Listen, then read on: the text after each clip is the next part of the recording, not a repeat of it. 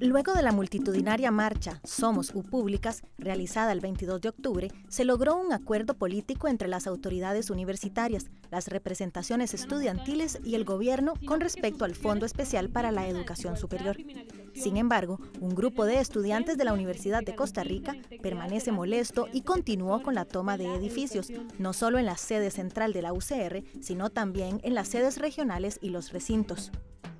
Bueno, en primer lugar el edificio sigue tomado, puesto que eh, reconocemos que en este momento el acuerdo que se hace entre las federaciones de estudiantes, CONARE y el gobierno del PAC no es un acuerdo que, que sea válido, es decir, es un acuerdo sin acuerdos, por así decirlo, no tiene ningún, eh, ninguna validez en el sentido de la exigibilidad.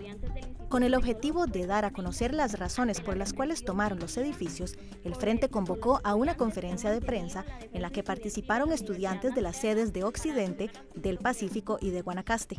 Convocamos a una rueda de prensa el día de hoy para precisamente para hacernos valer como estudiantes, como movimiento estudiantil, como eh, por ejemplo, habemos personas, estudiantes, eh, voceras y voceras de diferentes tomas de edificios, de sedes y recintos regionales también. Eh, en el caso de la sede del Pacífico, vamos en el día 10 de toma del edificio. Entonces, básicamente ese es nuestra, nuestro objetivo con esta rueda de prensa.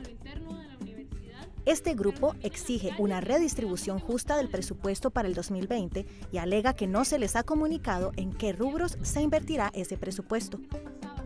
Estaremos tratando el elemento más macro que tiene que ver con que la el redireccionamiento de los fondos del FES en este momento tienen que estar en función eh, de los bienes, del, del, bienestar material de las sedes y los recintos, es decir, un redireccionamiento en función de la regionalización, así como también de la mejora de las condiciones de los trabajadores y las trabajadoras de la universidad mejoras en infraestructura, más plazas y tiempos para los docentes y más aperturas de cursos y carreras en las sedes y recintos de la universidad son parte de las peticiones de este grupo autodenominado como Frente Autónomo Interuniversitario.